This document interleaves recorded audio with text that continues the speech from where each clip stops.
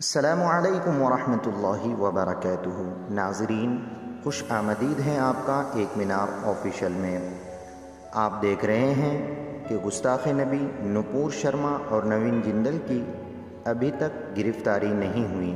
और कई जगहों पर मुसलमान हिंद ने और कई ममालिक ने गुस्ताख नबी की सज़ा पर प्रोटेस्ट किए।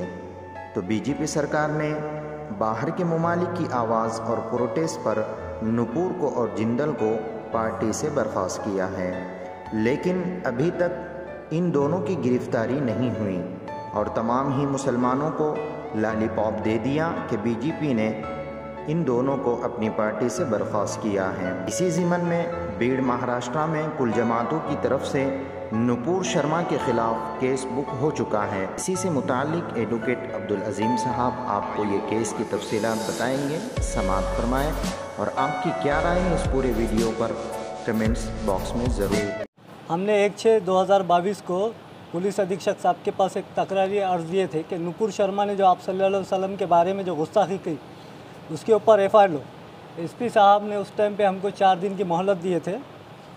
और चार दिन के बाद हम कार्रवाई करेंगे ऐसे आश्वासन दिए थे। वो उस आश्वासन को लेकर हम वापस आए।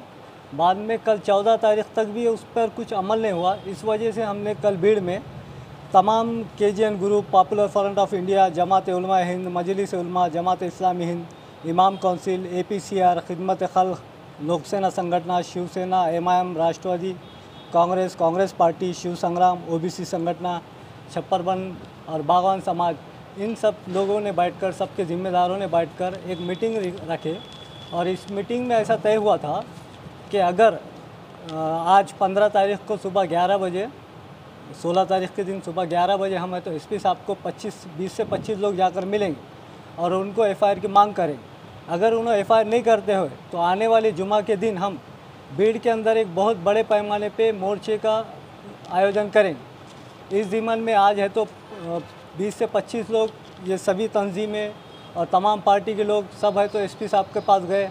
उनसे ये कहा गया कि अगर आज आप एफआईआर नहीं लेते हैं तो हमको आने वाले जुमा के दिन बड़े पैमाने पर मोर्चा करने की परमिशन दो। उस पर बहुत सारी बातें होने के बाद एसपी साहब ने हमारी मांग को एक्सेप्ट किया और हमें एफआईआर करने की इजाज़त दी। उसी तरह से हमने बीड़ शहर पुलिस स्टेशन में जाकर एफआईआर किए। मैं खुद अलहमदिल्ला उसका फिरियादी हूँ। और एसपी साहब, डीवाईएसपी साहब और पीआई साहब, इन सब लोगों ने और तमाम ज़िम्मेदार लोगों ने इसका भरपूर ताउन किया। इसलिए मैं सभी का शुक्रिया अदा करता हूँ। और इस ज़िमल में तमाम भीड़ ज़िले के तरफ़ से ये एफ़ आई लॉन्च हुई है। एसपी साहब ने हमें ये कहा है कि आप जो है तो पूरे कोई तालुक़े में, किसी किस्म का कोई शहर में, कोई मोर्चा भीड़ ज़िले में कहीं पे नहीं निकलेगा। पूरे भीड़ ज़िले के तरफ़ से ये एफ़ थी। इसीलिए तमाम भीड़ ज़िले के लोगों से मेरी गुजारिश है कि अमन क़ायम रखें और किसी तरह का कोई मोर्चा या कोई निवेदन अभी कुछ ना दें।